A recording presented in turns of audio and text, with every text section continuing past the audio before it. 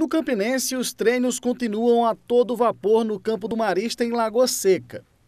Até os que chegaram por último praticamente entraram no ritmo dos demais jogadores.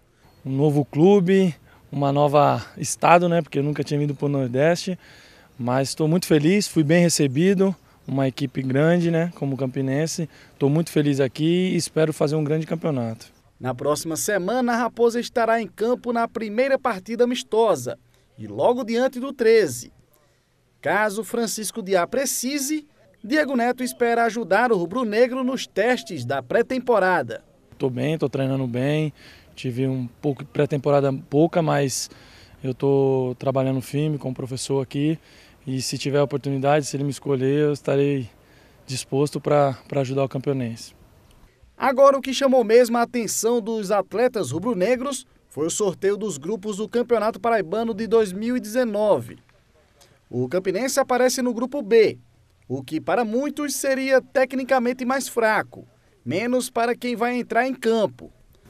No meu ponto de vista, assim, né, já vi tanta coisa né, é, no futebol que eu penso que nem é a favor nem contra. Eu vejo que o futebol se resolve dentro do campo, né? E, é, não adianta a gente ficar especulando ou tentando é, falar se é mais fácil ou mais difícil. Eu acho que isso é um, um assunto que, que não vai acrescentar. Eu, eu vejo que dentro do campo que as coisas se resolvem. Eu acho que é, sempre foi assim e, e, vai continuar sendo. Se a gente se preparar bem como tem, tem acontecido, temos né, nesses primeiros, nessas primeiras semanas trabalhado bastante, chegar forte na competição, é, nas partidas, eu creio que a gente é, vai chegar bem para conquistar as vitórias e, consequentemente, uma boa campanha.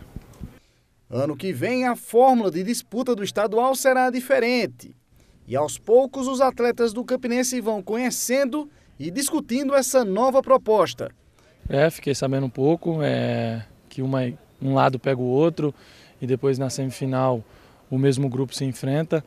É, respeitando todas as equipes, é, não tem essa de que a gente está num grupo que é, teoricamente todo mundo fala que é mais fácil, não tem essa.